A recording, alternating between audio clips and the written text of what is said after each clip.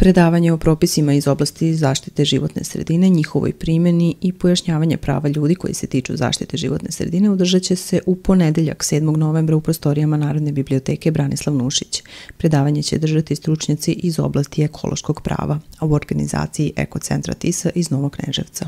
Ove godine, za razliku od, od prošle, kada smo imali one kreativne radionice, ovog puta će to biti jedna radionica klasična predavanje u 2-3 sata. E, predavači bit će uglavnom e, ljudi koji se bave ekološkim pravom, odnosno tema će biti upravo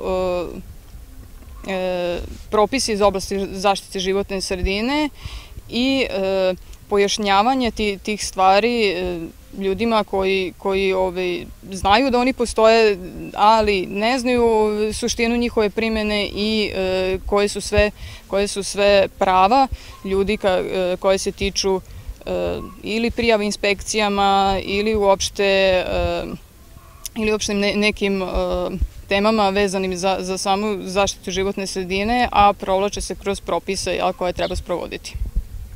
Predavanje se organizuje u sklopu nastavka projekta Idejna utemeljenost ekološki svesnog delovanja, čiji je nosilac ekološko udruženja Avalon iz Vršca, a partneri na projektu su udruženja iz Novog Kneževca, Kovina i Bele crkve.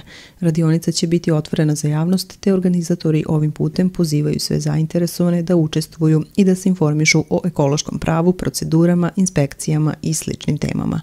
Pored predavanja aktivnosti projekta uključuju i izradu web sajta kako bi se organizacijama okupljenim u mrežu Banatska platforma koje nisu prisutne na internetu obezbedila bolja vidljivost. Kroz jačanje kapaciteta članica mreže e, ovog puta e, biće formiran web sajt e, za Banatsku platformu, a na kome će svaka organizacija koja je članica mreže imati stranicu na kojoj će moći da vodi svoje vesti, svoje, svoje ubaveštenja i tako dalje.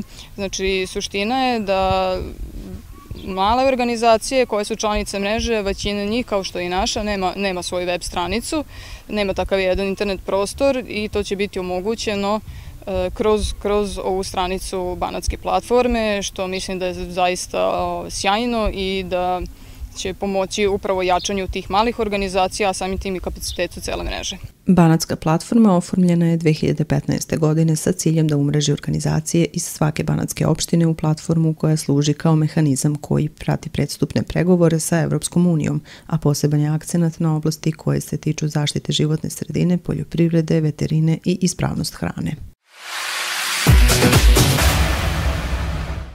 Vodostaj Tise je u stagnaciji sa tendencijom manjeg opadanja i stagnacije naredna četiri dana.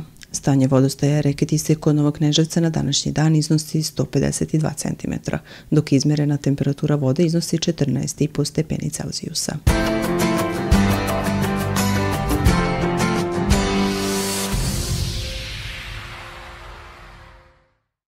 Za subotu meteorolozi najavljuju delimično oblačno vreme sa maglom i smanjenom vidljivošću u ranim jutarnjim časovima i mogućim razvedravanjem u toku posle podneva.